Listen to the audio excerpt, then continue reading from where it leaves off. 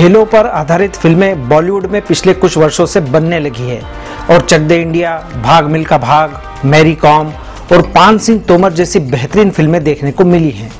इसी सप्ताह राजकुमार हिरानी और आर माधवन द्वारा निर्मित साला खड़ूस रिलीज़ हुई है, जिसकी पृष्ठभूमि में बॉक्सिंग का खेल है। खड़ूस का इस्तेमाल बॉक्सिंग के कोच आदि तोमर के लिए किया गया है, जो मुंहफट है और किसी से डरता नहीं है। बड़े अधिकारी से भिड़ने के बदले में उसका ट्रांसफ़र हिसार से चेन्नई कर दिया जाता है। आदि की पारखी नज़र तो ऐसे खिलाड़ी को ढूंढ रही है, जिसमें आग हो।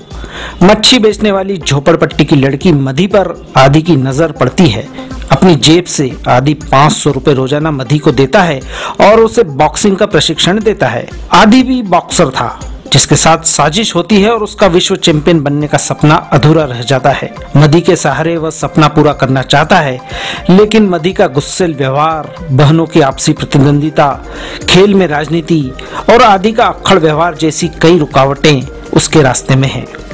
सुधा कोंगरा द्वारा निर्देशित इस फ़िल्म की शुरुआत बढ़िया है। आदि का खड़ूसपन और आग उगलती मधी से फ़िल्म उम्मीद जगाती है, लेकिन धीरे धीरे यह फ़िल्म चक दे इंडिया की राह पर चलने लगती है। हॉकी की जगह बॉक्सिंग ने ले ली। फ़िल्म में कई बार खेल पीछे छूटता नज़र आता है और यह गुरु शिष्या की फ़िल्म बन जाती है। फ़िल्म यूँ तो एक बार देखी जा सकती है, लेकिन स्क्रिप्ट की कुछ खामियाँ अखरती है। जैसे मधी की बड़ी बहन भी बॉक्सर है और केवल पुलिस में नौकरी पाने के लिए बॉक्सिंग कर रही है। उसका अपनी छोटी बहन से ईर्ष्या करने वाली बात फ़िल्म में अधूरे तरीके से रखी गई है। इसी तरह मधी का आदि के प्रति आकर्षित होना कहानी में खास प्रभाव नहीं छोड़ता। खेलों में राजनीति और यौन शोषण अब स्पोर्ट्स फ़िल्मों के फार्मूले बन गए हैं। क्लाइमेक्स में ड्रामा ज़्यादा हावी हो गया है।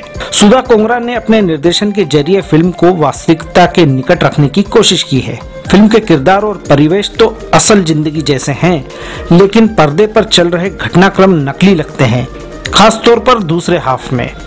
खामियों के बावजूद फ़िल्म में रुचि इसलिए बनी रहती है क्योंकि कुछ अच्छे दृश्य बीच बीच में देखने को मिलते रहते हैं।